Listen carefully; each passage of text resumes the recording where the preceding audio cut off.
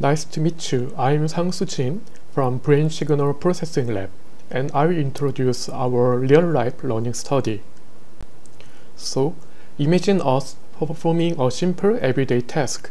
A massive amount of information is fed into our brains. We reason for the given task, take action, and receive feedback.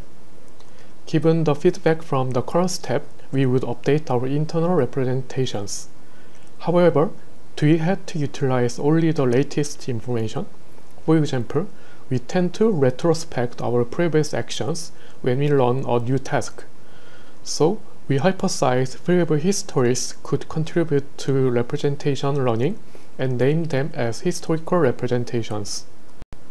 NIST 2019 summarized neural mechanisms to construct robust task representations. However, most studies utilize artificial and controlled tasks, which may not be able to fully reflect learning strategies in real life. A few years ago, we designed a novel VR-like paradigm in MRI using an eye tracker. However, we used panoramic videos as stimuli, so the internal so the interaction between participant and environment was limited. Therefore, we need a real-life task where participant can freely explore and interact in the scenes. We summarize our research aims like this. First, we plan to implement a naturalistic fMRI task environment using Google Street View. Second, we wanted to design a difficult learning task with a hidden task structure and goal. Using this paradigm, we evaluate evidence of historical representations of learning in the brain. We designed a novel real-life paradigm called photographer paradigm. Participants visit five cities in five runs on Google Street View. They can freely explore the city following streets and capture 8 photographs in 8 trials. For each photo, a feedback score is given. Note that these reflect a conceptual similarity between the photo and target context. Interestingly, we set the same caption target for all series, and this was not instructed to the participant. This made the overall learning task quite difficult. Let's look at the individual trial more closely. From the start of new trial, participants fully explore the street and capture a photograph using an MR comparable joystick. Then, we presented text or voice randomly that potentially explain the scene from the captured image. Lastly, we computed the conceptual similarity between the capture and target and presented the similarity score as feedback. We used a multivariate deep learning model called CLIP that can compute similarity between image and text inputs. We analyze a total of 32 participants.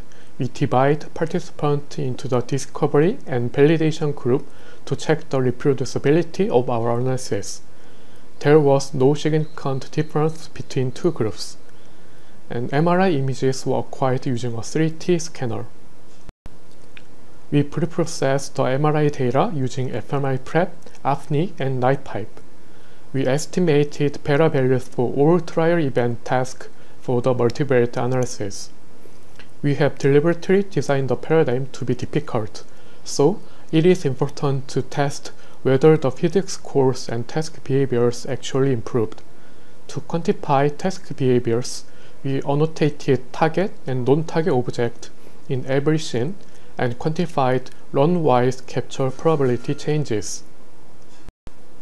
We use RSA for our main analysis.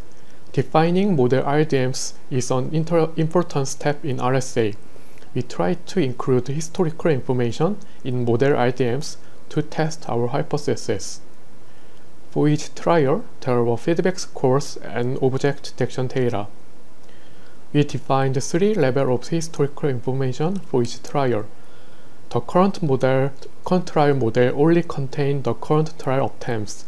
Recent two trial model group current and one-back trials, and recent three trial models include current, one-back, and two-back. Then we computed pairwise distances between two historical patterns for each trial pair. This led to six trial-by-trial model RDMs. Various historical model RDMs were compared with the neural RDMs defined in whole brain searchlight spheres. Note that we only focus feedback event beta maps where internal representation update would occur. For group inference, we applied one sample t-test using AFNI. The resulting clusters defined by two voxel level thresholds were corrected. For the behavioral result, we found a significantly learning effect in feedback scores for the discovery group. Although the improvement was subtle, feedback scores in round 5 significantly improved than round 1. We also found significant learning effect on task-dependent behaviors. As the figures below, capture probabilities for all three target objects were improved. Interestingly, a non-target object, bus, showed a negative trend since it did not help to improve feedback scores. We found evidence of historical neural representations.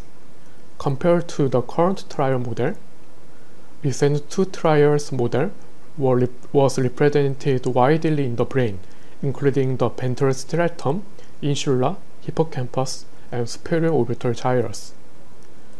Similar clusters were also found in lung trial, uh, recent three trials model, suggesting that our brain retained even three learning episodes. Most importantly, historical feedback representations were replicated in the validation group.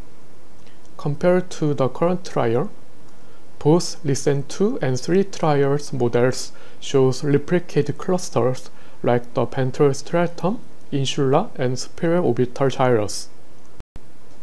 Historical representations also appeared in the task behavior models. We first performed RSA associated with object showing the significant learning effect which were named SLO. Both current and recent two trial models shows a visual region.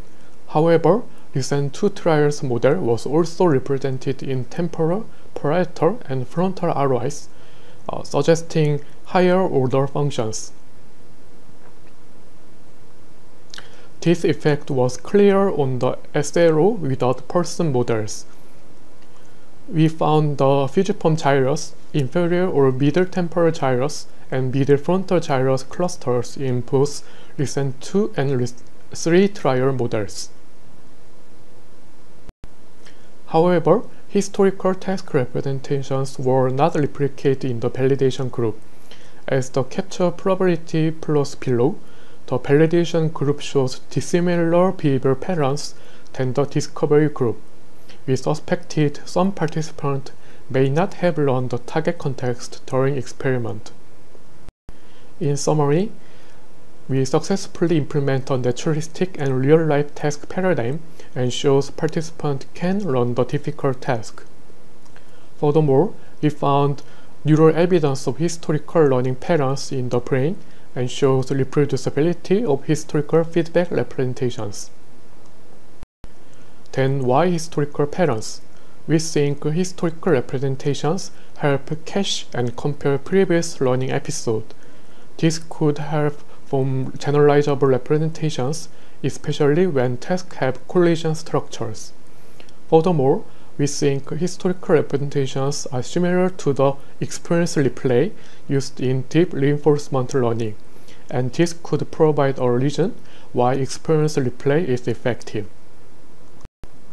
One of the main limitations of our study is that we have a small number of trials per run. High task difficulty and individual variability would be associated with this. Therefore, we plan to investigate individual variability in historical representations. Lastly, all of this work could not be done without the support of our professor, my mentor, and all lab members.